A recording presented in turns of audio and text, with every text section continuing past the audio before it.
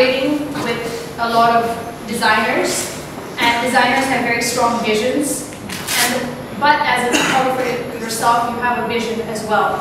And it's a fashion photographer who's able to combine those and really create um, an image uh, who is probably the most, most successful uh, photographer.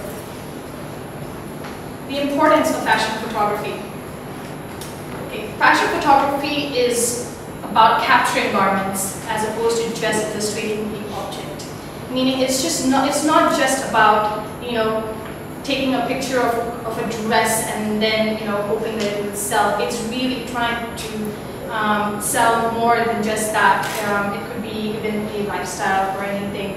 Um, you know, just the movement of the, the garment, um, it, should, it should literally speak to you. Uh, as well as, you know, anyone can become a fashion photographer. If you have camera and the right software, you can. But what sets you apart is having your own vision, is really creating an image or a um, pretty, much um, a brand for yourself. Because every photographer, if you notice, I'm sure even some of you over here, you have your own style of taking photographs. Sometimes you might be more into lighting, or maybe you're more into you know certain details um, in a photograph. And um, there are certain photographers out there that you will notice have their own unique style. Like I was saying, you have to showcase your personality. You have to be able to you know, portray your personality through the image, not just the designer's vision, but also your vision, while at the same time trying to sell this, you know, beautiful work of art that's fashion, which is what it's all about. It is all art at the end of the day. You need to convey more than just their vision. You need to convey your idea as well. Um, it's, it's a very crucial, you know, uh, it, in, a, in a world with this is, that's very creative, um, everyone has very strong ideas, has very strong visions, and it's about creating a harmony and being able to translate that into something like this picture that what it's all about. One of my favorite designers is Alexander McQueen. Um, you know, he just recently passed away last year. Um, he was an amazing, amazing designer. Uh, very theatrical, um, and he also liked to be that way in, you know, when he was out there and his pictures were, or his garments were being photographed. And one of his favorite photographers was Nick Knight.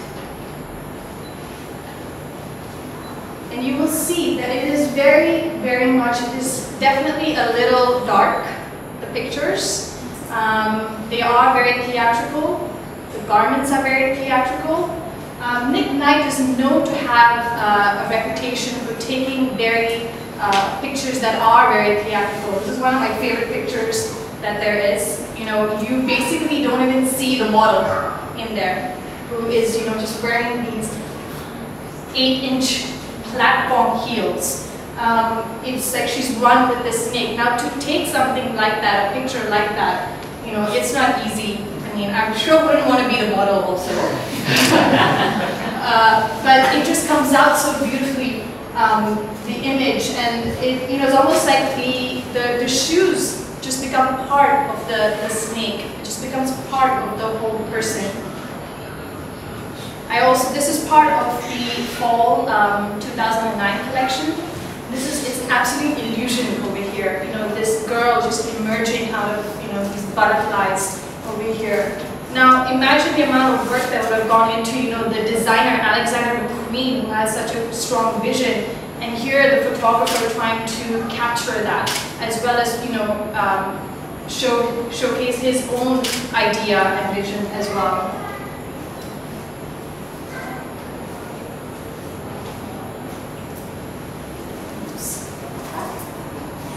This is one of my absolute favorites. I just love the way the girl, I don't know if you caught, the last picture, where the girl actually emerges out of the, the butterflies. fly, fly away from the girl.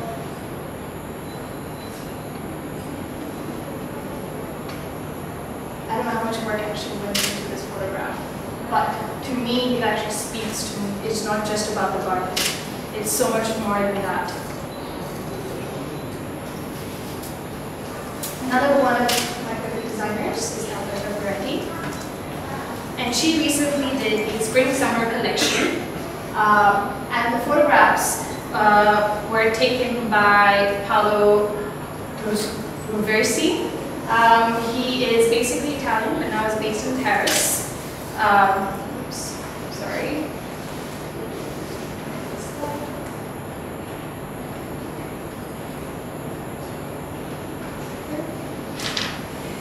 And the whole collection was based on uh, being very floral, very whimsical. And as a designer, as a photographer, it's not just about having, you know, being able to take good pictures. You have to be up with the trends. You have to know what's in fashion. You have to know who's the next, who is the, you know, the big fashion designer out there. Because, you know, you can't take a photo that worked in the 40s and 50s and expected it, expect it to work today in, you know, 2011. It doesn't work that way. And you know, you can clearly see um, Al uh, Alberta's uh, vision in the pictures that it's very floral, it's very whimsical, um, almost very innocent, like the colors that are there. It's very white, all the colors are very neutral, and you can see that's how um, the photographer, Paolo, was able to capture it that way.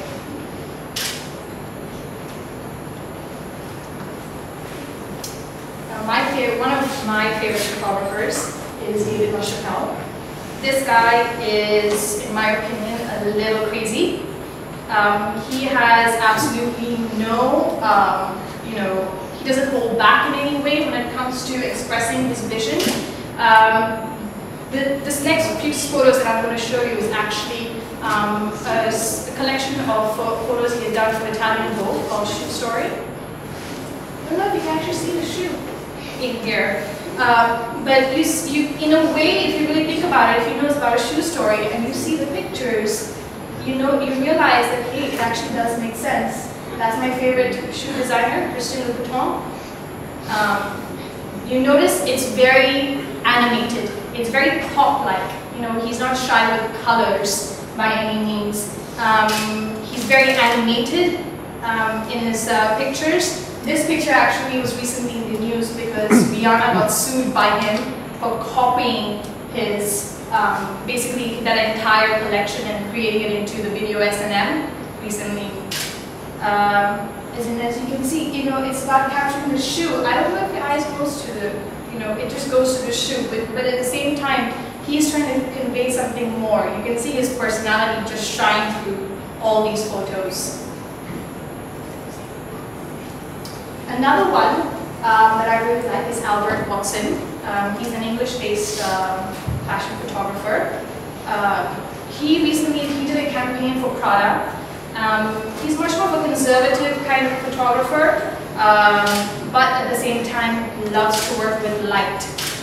This was a campaign that he did with Prada, and uh, I have to say, like, there's almost something a little classic as well as very modern about his photos for this campaign.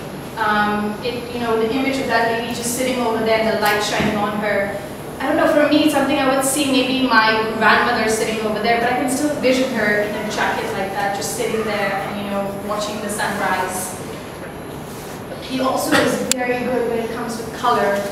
Um, if you notice in this picture over here, you have the trains over there with the mustard and the green. But you see the model, and she has holding a piece of jewelry in her hand, the exact same colors. You see that even though the picture of the trees has nothing to do with the jewelry, the colors, you know, you can see it relate to one another almost.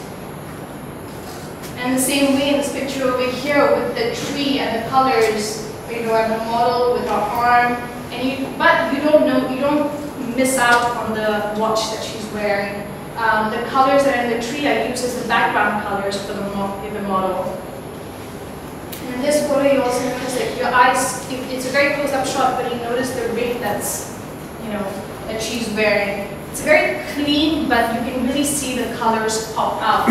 Um, now, you know, colors, as you know, they're very important as a photographer. It's very important to be able to capture the colors and everything.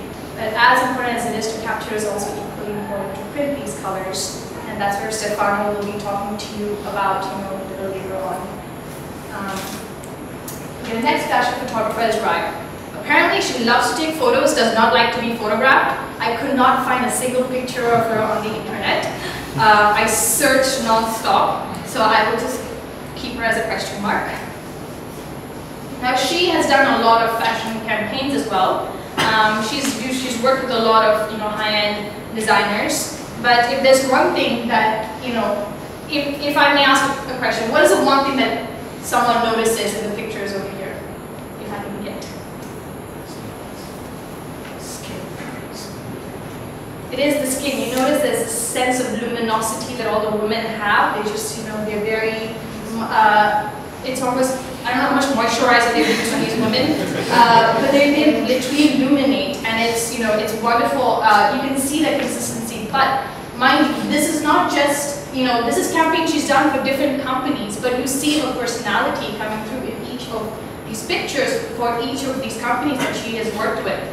Um, so you, you see how like you know as this as a photographer, it's just so important to be able to really express yourself because that's your work of art that you are uh, showcasing out over there. I did a little diagram, and didn't get it done too well, but as you will notice in the chart, if you take the arrow, if you're you know mad, conservative, black and white color, you, definitely David Chappelle, Chappelle falls in the mad and colorful category.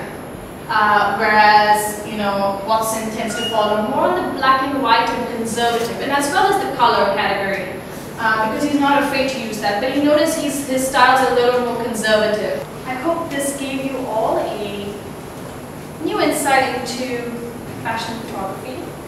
All I can leave you with is, and ask for it, is to define yourself as a fashion photographer, define your style, and um, hope to see your pictures very soon.